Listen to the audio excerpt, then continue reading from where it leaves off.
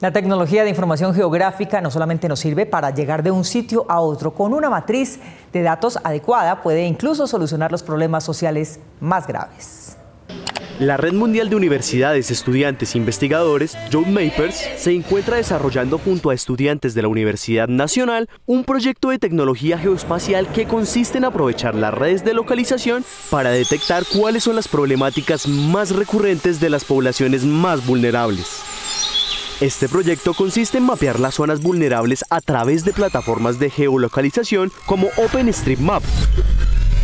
con la intención de detectar las principales problemáticas, la densidad de viviendas, rutas y vías de evacuación. El proyecto no solamente ha buscado la resolución de problemas, sino también realizar mapeos cartográficos de la sede de la Universidad Nacional en sus diferentes campus en la sede de Medellín.